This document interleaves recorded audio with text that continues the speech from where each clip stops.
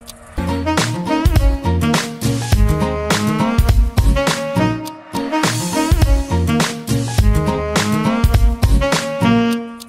Salut c'est Bob et bienvenue dans l'épisode numéro 23 des cartes insolites qui sera sur l'attaque mentale, qui est un sort pour 2 mana qui inflige 5 points de dégâts aux héros adverses. Alors c'est une carte qui était beaucoup jouée au tout début d'Hearthstone, quand c'était encore vachement des decks contrôle et que bah, du coup le prêtre OTK euh, massacrait un peu tout le monde. Euh, maintenant en tout cas c'est plus du tout le cas, je pense que c'est parce que c'est trop lent en fait, pour pouvoir euh, l'utiliser au maximum, cette carte pour pouvoir en profiter au maximum, il faut jouer en fait le prophète Velen qui permet de doubler les dégâts des, les dégâts des sorts, et, et, du coup en fait c'est un combo qui est quasiment tour 10, et généralement tour 10 c'est déjà mort en fait, surtout en prêtre, donc donc la carte était vraiment pas jouée. Euh, et, comme c'est une carte que j'aime beaucoup, honnêtement, c'est, euh, enfin, il y a trois cartes que j'aime beaucoup, euh, en tout cas en prête, que j'aimerais faire jouer ensemble, mais que j'ai vraiment du mal à faire jouer ensemble. C'est l'attaque mentale, le prophète Velen et la forme d'ombre. Parce qu'en soi, les, ils, vont, ils vont très bien ensemble, parce que la, forme d'ombre permet vraiment d'avoir un contrôle du board pendant toute la game. L'attaque mentale permet d'avoir un finisher, et ils combattent toutes les deux avec le prophète Velen, parce que le prophète Velen double les dégâts du pouvoir héroïque. Du coup, quand la forme d'ombre est à, est à 3, en fait, tu fais 6 de dégâts. Donc ça peut être intéressant. Enfin bon, en tout cas, dans tous les cas, j'ai pas mis la forme d'ombre dans le deck parce que euh, c'est trop compliqué en fait de la jouer la forme d'ombre. Euh, c'est vraiment balèze. J'ai pas, pas réussi à la rentrer dans le deck. Honnêtement, c'était trop dur. Euh, donc voilà, en gros, euh, le principe de l'attaque euh, d'attaque mentale, je veux dire, ça va être de tuer l'adversaire euh, d'un seul coup avec le prophète Velen, mais pas seulement. Alors du coup, pour pouvoir en profiter un maximum, parce que c'est bien beau de mettre 20 points de dégâts, parce que c'est multiplié par 2, donc ça fait 10 et 10, ça fait 20, avec le prophète Velen, mais derrière, en soi, si on met un Torusan sur les, sur les 3 cartes qui sont là, et eh ben ça nous coûte que 8 de mana. Donc il nous reste en fait 2 de, de, mana à jouer derrière, donc on pourrait jouer, je sais pas moi, des châtiments sacrés, sur mettre plus de dégâts, mais j'ai pensé à autre chose, et c'est là où c'est vraiment intéressant, c'est au chambellan Executus parce que le chambellan Executus, euh, quand il meurt, il te remplace par Ragnaros. Donc tu as 8 points de vie, certes, c'est un petit peu relou, mais ton pouvoir héroïque, c'est inflige 8 points de dégâts à un adversaire aléatoire. Avec le prophète Velen, c'est pas 8 points de dégâts que tu mets, mais 16 points de dégâts. Et du coup, s'il n'y a rien sur le board adverse, tu te retrouves à mettre avec double attaque mentale, le prophète Velen quand tu es réduit par, euh, par bien sûr, et un héros power, tu te retrouves à mettre 36 points de dégâts. Et là, on a notre OTK un petit peu original, c'est pas juste euh, je, je stack mes cartes dans un coin, je les réduis toutes et je fais un OTK comme ça. Donc euh, ça va pas du tout être un OTK compliqué, parce qu'on a besoin que de 3 cartes. On a besoin du prophète Velen, de l'attaque mentale, et de l'autre attaque mentale. Et après, bien sûr, on peut avoir euh, pour produire les trois, mais voilà, on n'a pas besoin de plus que ça, on a juste besoin d'avoir mis en place euh, le chambellan executus et d'ailleurs on peut one shot. Alors, comme c'est un combo relativement euh, compliqué à mettre en place, simplement parce qu'il faut avoir déjà joué le chambellan executus, il faut être encore en vie, il faut que le board soit clean en face, et ben il faut un deck qui soit relativement consistant à côté. Et euh, du coup, j'ai pensé à un prêtre ressuscité qui est extrêmement puissant. Donc, quand je dis ressuscité, c'est dire double ressuscité et double fou en qui se base simplement sur le fait de jouer des cartes très très chiantes à gérer et de les ressusciter en boucle. Et du coup, peu importe le match-up qu'on a en face, on va les battre. Enfin, si on a le temps de mettre la chose en place, on aura le temps de les battre. Simplement parce que les agros n'auront peut-être essayé de gérer la carte, mais elle va revenir en boucle, donc ils pourront pas la, ils pourront pas la gérer et du coup ils vont finir par s'essouffler. Et les contrôles n'auront pas assez de removal pour pouvoir gérer toutes les cartes d'un coup. Donc comme carte hyper relou qu'on a à faire revenir, on aura le maître lame blessé qui du coup, bah, quand on va le mettre tour 3, sera une 4-3, il va limite mourir direct. Mais c'est ce qu'on veut, on veut qu'il meure. Et dès qu'il est mort, on pourra la ressusciter avec les ressuscités ou avec les fonds d'Onyx. Et du coup, à chaque fois qu'on fera un ressuscité ou un fond d'Onyx, on récupérera une 4-7 gratos. Donc euh, pour 2 de mana, tu récupères une 4-7.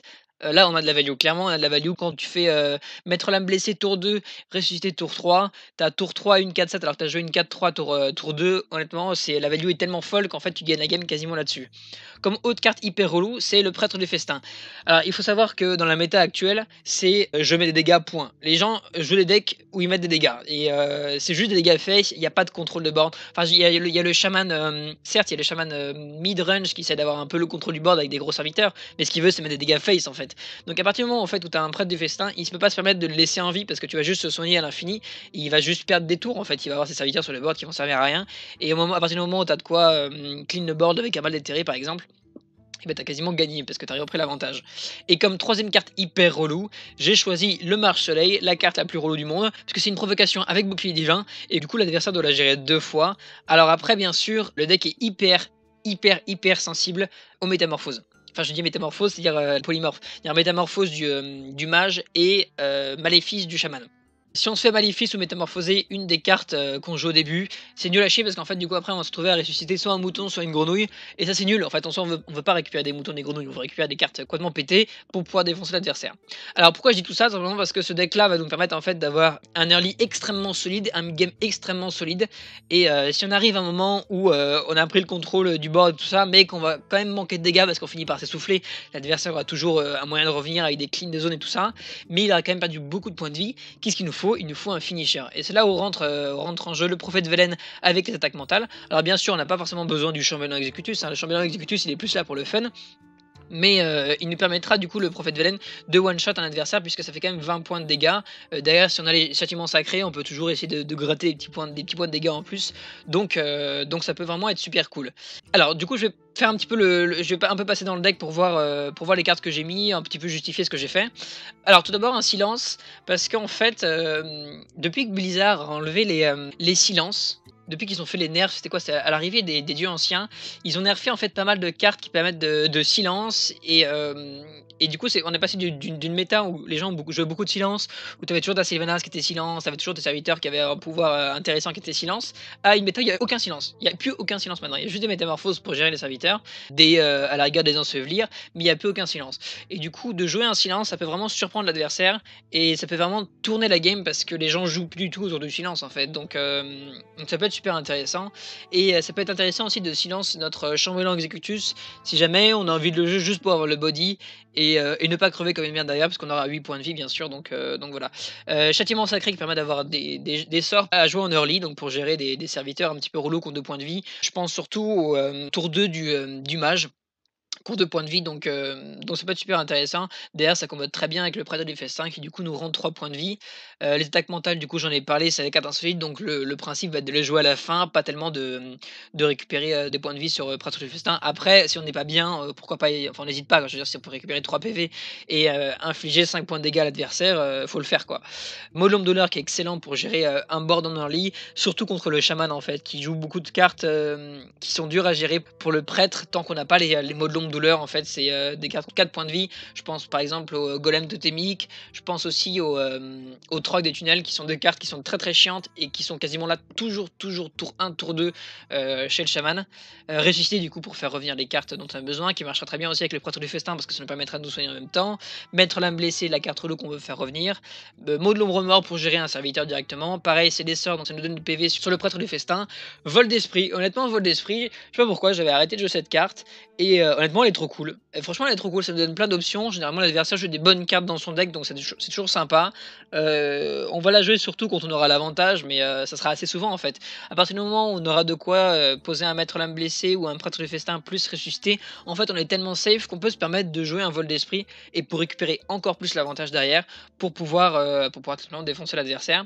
prêtre du festin, du coup, qui sera notre seule source de heal. Faut faire attention parce qu'on a, on a vraiment rien d'autre pour ce heal, donc faut vraiment pas trop les gaspiller. Après, c'est vrai qu'on a quand même la donc on aura plein, c'est sûr, on pourra récupérer plein. Fournonix qui est notre, notre ressusciteur le mal éthéré qui sera notre seul clean de zone, donc faut faire attention aussi à pas trop le gâcher. Il sera très utile contre le mage et euh, le chaman qui sont un peu les deux, euh, grosses targets du, euh, mal éthéré parce que c'est des serviteurs à 2-3 points de vie. Après contre Zou c'est pas hyper intéressant parce que souvent les serviteurs ont 4 points de vie, souvent ils ont des râles d'agonie donc il restera des trucs qui, qui, seront sur le board.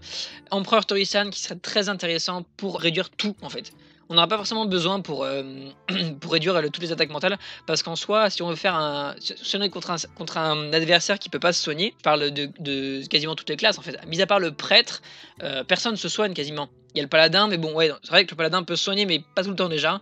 Et, euh, et si on tombe pas sur un guerrier qui stack de l'armure, eh bien, on n'aura pas forcément besoin de mettre la full combo avec le prophète laine. Donc en fait, juste de réduire une attaque mentale suffit en fait, parce qu'il va coûter 7, plus une attaque mentale à 2, ça fait, euh, ça fait 9, plus une attaque mentale à 1, ça fait, euh, ça fait 10, et on met 20 points de dégâts. Donc en fait, l'empereur Torisan, il n'est pas obligé d'être mis sur le prophète Velen plus double attaque mentale. Alors la combo, bien sûr, dont j'ai parlé, c'est pour mettre, faut mettre sur les 3 pour pouvoir jouer les repower à 16, mais, mais c'est tout en fait. si on veut juste prendre l'avantage euh, et, pouvoir jouer plus de cartes plus, rapidement, euh, notamment les cartes qui ont été données par les vols d'esprit faut pas hésiter quoi. Euh, les ensevelir qui sont, euh, excellents contre les decks contrôle. Voilà, il n'y a, pas, a pas grand chose de, plus à dire. Euh, pour gérer une carte chiante, pof, tu poses un ensevelir. Généralement, il faut essayer de les jouer sur les, cartes qui coûtent 8, 8 de mana. C'est les plus relous à gérer et c'est celles qui sont les plus avantageuses. Euh, j'en ai parlé, c'est la carte relou à ressusciter. Prophète Velen qui nous permettra du coup euh, d'infliger deux fois plus de dégâts avec nos sorts. Donc, euh, donc ça peut être super cool. On pourra le jouer aussi en cas de détresse avec notre Hero Power. Il pourra nous soigner de 4. Donc ça fait une 16 sur le board. Et d'ailleurs, on soigne avec notre, notre Hero Power de 4. Donc c'est pas fou, mais ça peut servir franchement. les, parties qui peuvent se jouer à, 4 points de vie. Donc ça peut être cool. Ragnaros, bah, du coup, pour avoir un petit peu, rester un petit peu dans l'esprit parce qu'on joue déjà à Ragnaros. Donc c'est pour avoir double Ragnaros sur le. Enfin, un en, en héros et sur le board, ça peut être sympa. Alexstrasza qui peut être cool pour tomber l'adversaire à 15 points de vie si par exemple faire un chambellan executus plus euh, prophète Velen et infliger 16 points de vie à l'adversaire directement. Ou alors simplement pour monter à, 15 points de vie avec le chambellan executus parce qu'on a, on a 8 points de vie quand on, euh, quand devient, quand Ragnaros. Et euh, si on fait Alexstrasza sur nous et eh ben ça nous buff à 15 points de vie. Et du coup ça commence à être un peu plus intéressant parce que quand tu as 15 points de vie tu fais moins one shot que quand tu as, as 8 points de vie. Donc, donc voilà j'ai dit beaucoup de choses mais je trouve que, mais je trouve que ce deck est vraiment complet. C'est probablement un des decks les plus complet que j'ai fait parce qu'il est vraiment super stable. Euh, il y a juste, euh, quand tu te prends un maléfice sur, euh, sur tes cartes là, bas c'est fini quoi. T'as as quasiment perdu la gamme d'office parce que tu peux récupérer une grenouille sur chaque, sur chaque carte que tu ressuscites, donc c'est un petit peu relou. Mais, mais honnêtement, le deck est super solide, il est super marrant parce que le coup du chambellan executus, ça fait un peu paniquer les adversaires et, et, et, ça fait quand même, mine de rien, un bon body sur le board, donc... Donc c'est assez sympa parce que de toute façon quand on va le jouer généralement euh, on aura dans les 10 points de vie. Donc en soi l'adversaire va soit choisir d'infliger 7 euh, points de dégâts au champion Executus et après il devra nous mettre 8 points de dégâts soit nous mettra les dégâts face donc en soi ça change pas grand chose pour nous dans tous les cas. S'il pouvait nous tuer il nous aurait tué dans tous les cas. Euh, et s'il peut pas nous tuer ça fait une énorme menace sur le board parce que derrière on pourra jouer notre Hero Power à 16 points de dégâts. Donc, donc voilà je suis désolé j'ai parlé pendant très très longtemps. Mais comme ça fait longtemps que j'avais pas sorti de deck et tout ça et en fait je voulais, je voulais, un peu montrer sur quoi j'avais travaillé pendant ce temps là après j'étais en vacances aussi, donc, euh, donc voilà. Enfin bon, bref, j'ai beaucoup parlé. Euh, je mettrai probablement un lien pour passer l'intro parce que là, ça fait longtemps que je parle. Et, euh, et donc voilà, je suis désolé d'avoir parlé très très vite, mais j'avais plein plein de choses à dire parce que c'était c'est un deck super sympa. Et, et, donc voilà, on va tester tout ça maintenant en ladder. Allez, c'est parti. Contre Gary, ça peut être rigolo honnêtement. Euh, je pense que le maître d'âme blessé est génial, vol d'esprit est génial. Euh, mot de l'ombre mort. Est-ce que j'ai besoin du mot de l'ombre mort contre guerrier Ça peut être utile pour un berserker qui devient un peu fou. Euh, ça peut être utile si je me fais défoncer par un... En ça peut être utile si je me fais défoncer par un guerrier dragon. Si c'est pas un guerrier dragon, ça me sert un peu à rien. Dans tous les cas, je pense que je n'aurais peut-être besoin. Vu que j'ai deux bonnes cartes euh, pour le reste, je pense que je vais la garder euh, au cas où. Je préfère avoir un mot de l'ombre mort euh, qu'un Ragnaros ou un truc comme ça que je pourrais pas jouer avant le tour 8 quoi. Ok, donc là j'ai comme défendre. Honnêtement, j'ai comme défendre contre, contre un guerrier aggro normalement.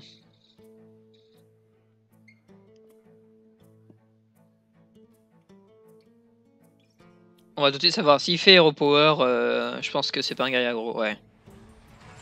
Je pense que c'est pas un guerrier aggro. Alors ce que je pourrais faire, c'est... Euh, pièce... Mettre l'âme blessée. Mais je pense que c'est pas utile. Je pense que j'ai plus intérêt à faire pièce, vol d'esprit. Ok, c'est un... C'est quand même un guerrier... C'est bizarre, c'est un guerrier dragon quand même. Peut-être un guerrier dragon avec une mauvaise sortie, ou alors un guerrier dragon pas agressif. C'est possible qu'il joue pas les championnes, qu'il joue pas... Euh... Qu'il joue pas... Euh... Qu'est-ce qu'il y a d'horrible aussi dans le... Les, dragons féeriques Peut-être qu'il joue pas ça, je sais pas moi.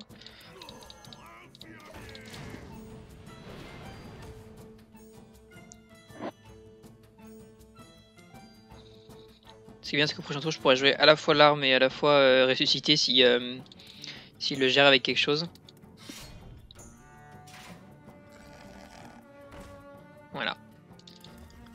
Donc il joue, en fait c'est juste un dragon qui a une mauvaise sortie, très bien.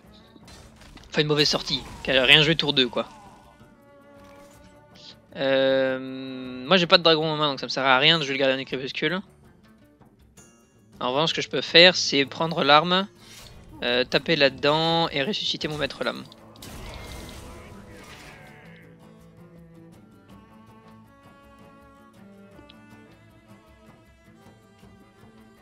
Là, ce qui est horrible pour lui, c'est qu'au prochain tour, je joue le fou en onyx et je récupère encore un maître lame. Il va peut-être l'exécuter, je sais pas. Ça cher quand même, mais bon. Pour un truc qui m'a coûté de mana. ouais, c'est cher. il va le regretter surtout parce qu'il revient euh, juste après, quoi. C'est ça qui est un peu horrible avec, euh, avec ce prêtre, en fait. C'est que tu tues les serviteurs et en fait, t'arranges le prêtre en tuant les serviteurs, quoi. Là, je suis content parce que j'ai déjà... Euh, je vais avoir deux maîtres lames qui seront morts. Non, trois qui seront morts. Enfin, j'en ai deux qui sont morts pour l'instant. Et du coup, dès que je vais ressusciter un truc, je suis quasi sûr de récupérer un maître lame, quoi. Donc c'est un peu n'importe quoi.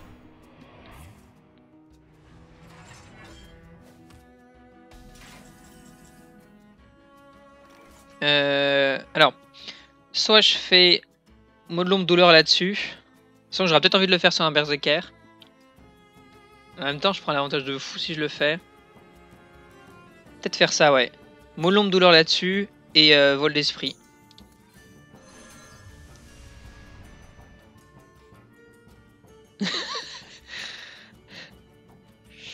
euh, ok. Ou alors je fais châtiment sacré. Je vais faire ça, je vais faire châtiment sacré. Je vais trade. Je vais jouer la championne d'Alex. Et je vais jouer son deck aggro à sa place.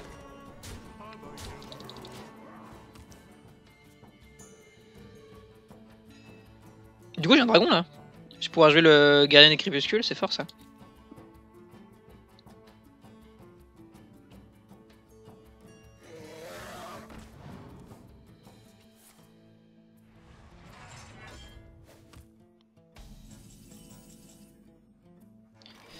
Euh, je pense que je vais trade, mettre un gardien du crépuscule, soigner lui.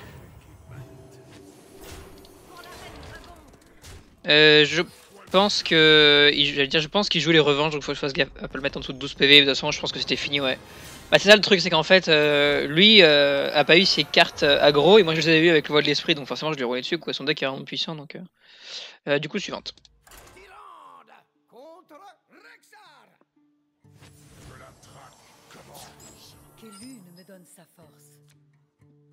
Alors j'ai mon ressuscité, il faudrait que je récupère un maître lame au début, ou un prêtre du festin, ou un marche, euh, marche léger, mais bon c'est trop trop tard. Donc euh, j'enlève tout ça, c'est trop late. Clairement contre chasseur il me faut de l'early. Non, non. Non bah c'est bien la peine que je les enlève pour les récupérer quoi. Bon j'ai deux ressuscités, faut vraiment que je récupère euh, de quoi un truc à ressusciter en fait. Non ça c'est nul à ressusciter. Euh, j'ai deux tours pour récupérer soit un, prêtre du festin, soit un maître blessé, sinon ça va vraiment être compliqué. Ok, prêtre du festin qui est là, c'est cool. On va le soigner lui. Ok, c'est pas le euh, bonne nouvelle, c'est pas le piège de fléchette là. Mauvaise nouvelle, c'est un chasseur secret.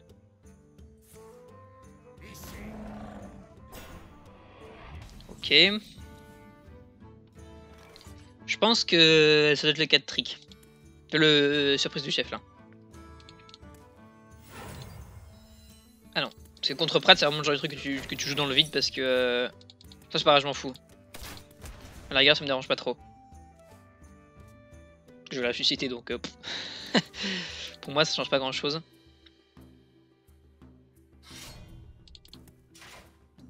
Ok.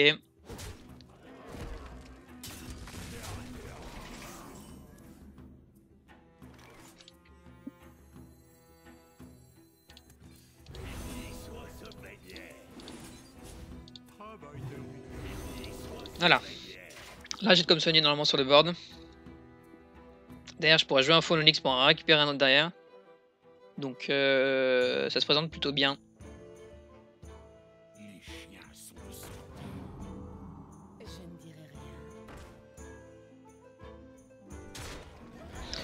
Bon bah clairement ça va être un mal déterré gratos. Il nous a donné le bon mal déterré. Hop. Et fin de tour. Ah, on a quasiment gagné la game là-dessus.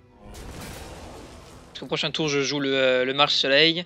Euh, je pense que le chasseur, a, maintenant qu'il joue plus les, tirs meurtriers, il a quasiment aucune euh, chance de gérer ça.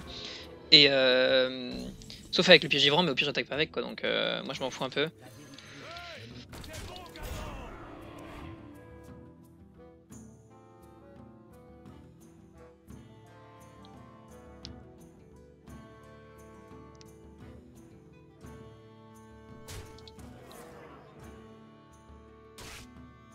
Ouais.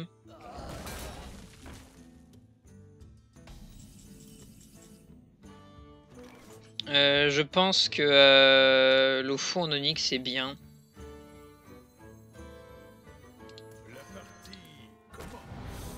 On espère récupérer Marche Soleil. Ouais, il y avait peu de chances que je récupère honnêtement. Euh, maintenant la question c'est est-ce que je trade là ou est-ce que je trade là? Je pense que trader là c'est mieux. Ouais. Et que ce soit une 3-3, ça je m'en fous. Je préfère qu'il ait une 3-3 que 2-1-1 où euh, il pourra faire des trucs genre... Euh, genre Liog, genre... Euh, genre je sais pas quoi en soi, mais bon, voilà. Pour éviter tout souci. Je vais faire remonter le, le fond Onyx, au cas où c'est un... Au cas où c'est un piège givrant.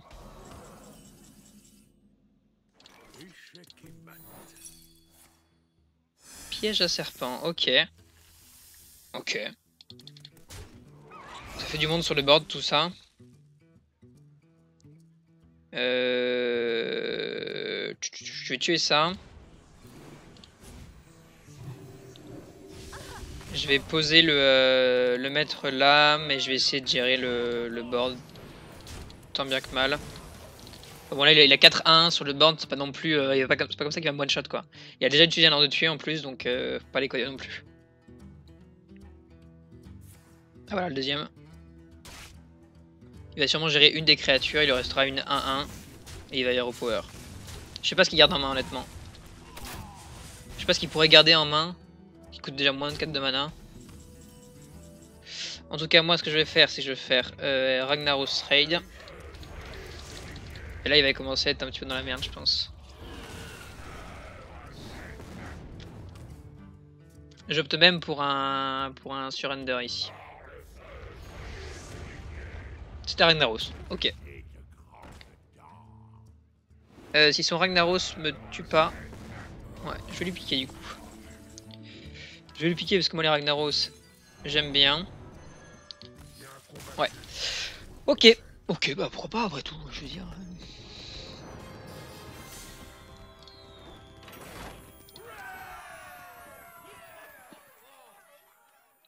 Ouais, très bien tout ça.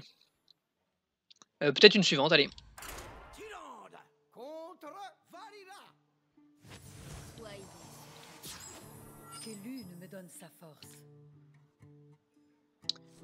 Waouh. Excellent ces deux-là. Excellent. Maintenant, euh, deux vols d'esprit, est-ce que c'est pas un peu trop? Ça me permettrait d'avoir énormément de cartes. Vu que j'ai un, excellent, un excellent early, est-ce que ça me permettrait pas de... Ouais, non, il faut peut-être un truc pour gérer son board. C'est trop, honnêtement, c'est trop. Deux vols d'esprit, faut pas les connaître. Ouais, bon, je préfère un vol d'esprit plutôt que l'attaque mentale, honnêtement.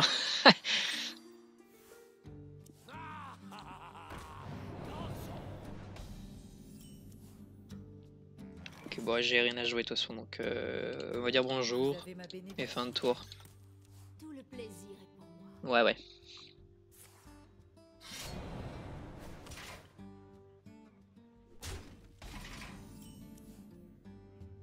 Faire pièce euh, vol d'esprit. Je préfère faire pièce vol d'esprit que pièce euh, le mettre l'âme blessée. Je sais pas pourquoi. Je sais pas pourquoi. Euh, probablement parce que ça me donne plus d'options pour le tour d'après, même si je sais que je vais de toute façon, de toute façon jouer le maître l'âme blessé. Parce que quand je joue le maître l'âme blessé et qu'il meurt, je suis obligé après de faire le ressusciter limite. Donc, donc là, je pose ça. J'espère, qu'il fasse le trade bien sale comme ça là. Enfin, bien sale, euh, excellent pour lui, un hein, très bon trade, mais, mais du coup, ça, permet de gérer la plus grosse créature sur le board.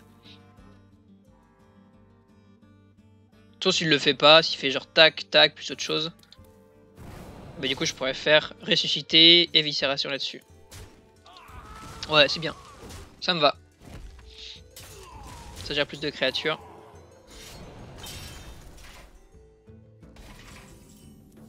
Alors, ressuscité, éviscération. Et fin de tour.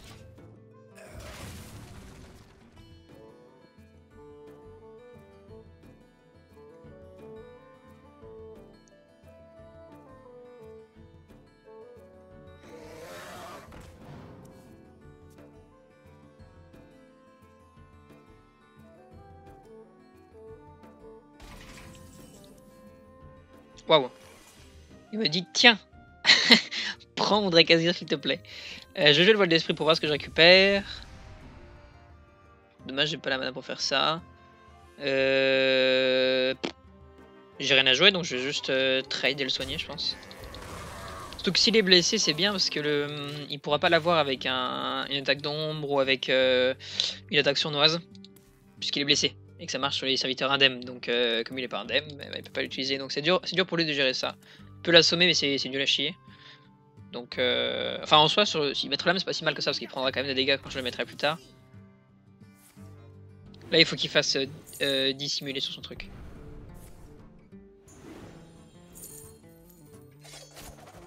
S'il fait pas dissimuler, il va juste perdre ça.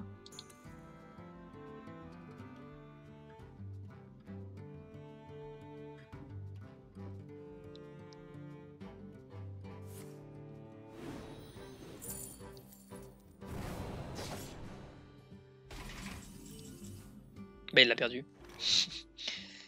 euh, Est-ce que j'ai vraiment envie de faire Torisan là-dessus? Je ne pense pas honnêtement.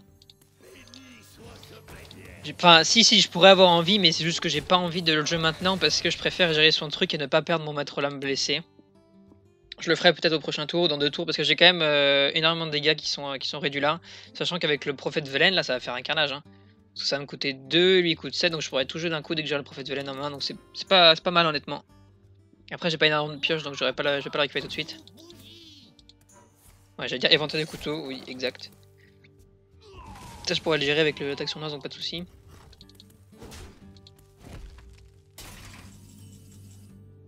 Euh, du coup, parfait, Ragnaros qui va être réduit aussi. Je fais attaque sournoise là-dessus. Et je face avec ça.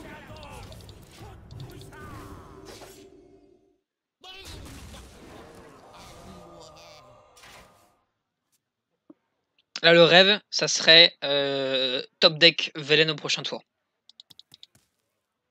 Parce que le voleur a aucun moyen de se soigner. Parce qu'en fait, c'est ça, c'est dans les. Chaque tour, j'ai une chance de le one-shot. Le voleur a aucune chance de soigner, donc c'est euh, ça. Sachant que je lui mets, même s'il soigne, je lui mets 20, 26 euh, de dégâts. Donc 26 de dégâts va te, va te soigner de ça, quoi.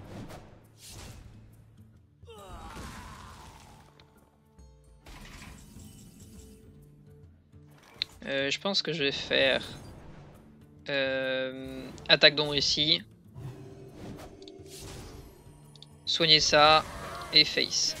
Enfin en soi j'ai pas besoin de face tellement mais euh, il faut que je le mette en danger pour pas qu'il... Faut pas qu'ils se disent tiens j'ai le temps et je vais piocher, je vais faire mon combo, je vais one shot. Il faut qu'ils se disent merde je vais crever, il faut absolument que je gère son board et qu'il claque tout sur, sur mon serviteur. Ça ça m'intéresse plus déjà.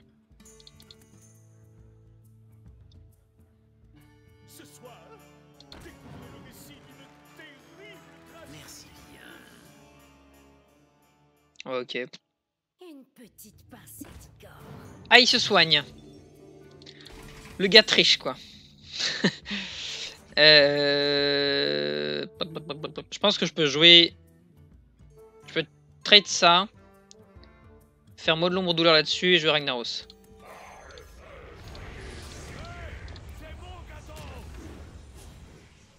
Et du coup, fin de tour.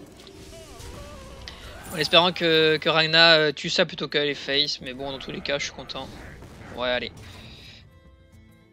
Parce que là, j'ai 10. J'ai quasiment le létal en fait maintenant, quoi. Sans même euh, choisir le. Sans même avoir le prophète de laine. Je suis à 1 du létal. Il suffit que je récupère un châtiment sacré ou que je puisse attaquer avec l'un d'eux et, euh, et on est bon, quoi. Le seul truc dont j'ai peur, c'est qu'il gère tout le board parce que du coup, ça veut dire que derrière, je suis un petit peu essoufflé. Mais je pourrais tenter, euh, je pourrais tenter le chambellan et me dire que euh, il n'arrivera pas forcément à le gérer. moi j'y crois moyen honnêtement. Ce qui serait parfait en fait c'est qu'il mette tout là-dessus et qu'il me reste mon, euh, mon prêtre de festin tout seul pour le finir. Qu'il ait pas une autre heavy à mettre là-dessus, quoi. Ok. Est-ce que je récupère le prophète de laine Non, de toute façon, j'avais de l'étal, donc tout va bien.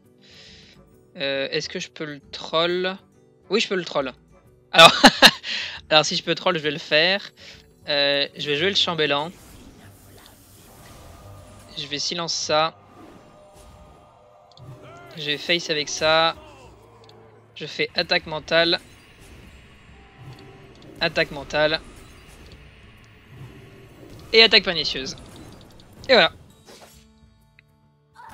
Enfin le troll, j'ai posé un serviteur qui peut, me- qui peut potentiellement me tuer quoi. Ça je voulais dire.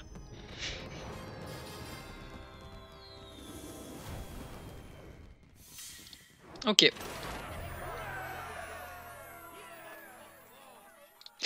Bon bah honnêtement ça s'est franchement super bien passé, il a pas à dire. Euh, J'ai pas pu jouer le prophète Velen avec, euh, avec, euh, en devenant Ragnaros.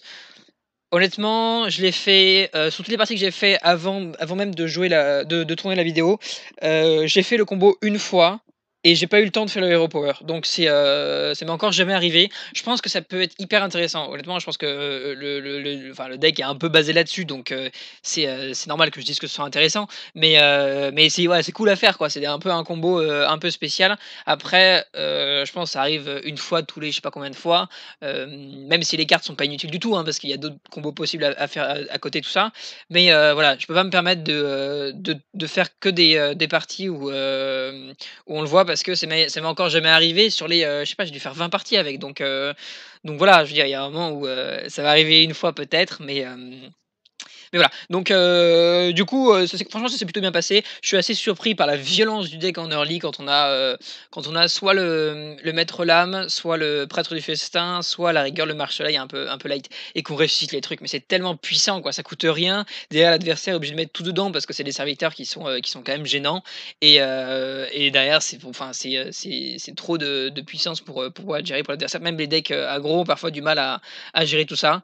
Donc, donc franchement, deck super puissant.